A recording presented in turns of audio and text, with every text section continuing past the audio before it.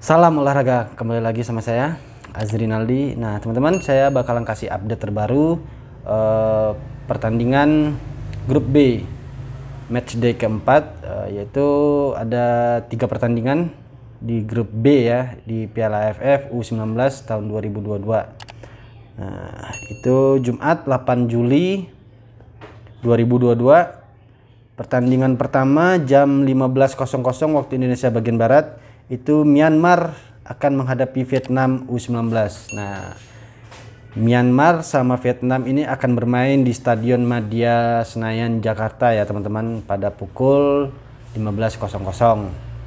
Nah, pertandingan kedua itu pukul 17.00 waktu Indonesia bagian Barat uh, antara Thailand U19 akan menghadapi Brunei Darussalam U19 itu akan bermain di Stadion Patriot Chandra Baga Bekasi Jawa Barat.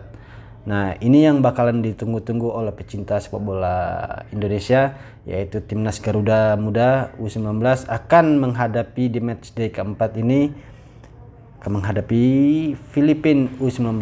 Nah, ini pertandingan match day keempat uh, timnas U19 Indonesia wajib menang ya buat uh, menjaga uh, biar lolos ke semifinal ya teman-teman ya. Nah, itu akan bermain di Stadion Patriot Candrabaga Bekasi Jawa Barat pukul 20.00 waktu Indonesia bagian barat. Nah, teman-teman yang mau nonton siaran langsungnya itu bisa nonton di TV Indosiar Nah, disiarkan langsung oleh TV Indosiar ya teman-teman ya. Nah, itu jam 20.00 waktu Indonesia bagian barat. Nah, mudah-mudahan timnas U19 ini bisa meraih poin penuh saat bertemu Filipina.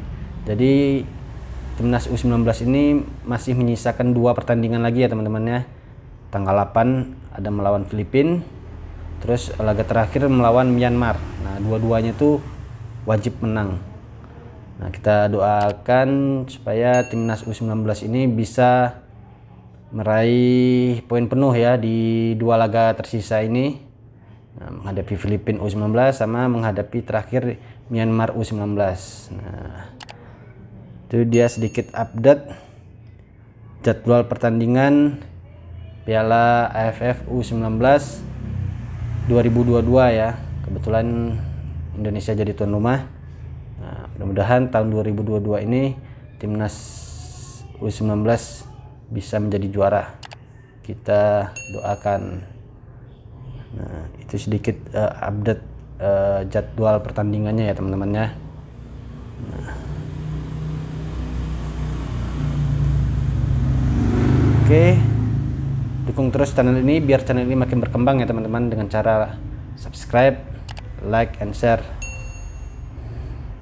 biar semangat update video terbarunya.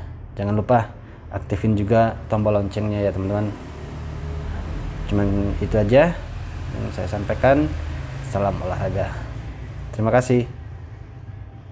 Forza Garuda. Forza Indonesia. Kita dukung terus perjuangan timnas U19 di ajang Piala AFF U19 tahun 2022 ini. Oke teman-teman.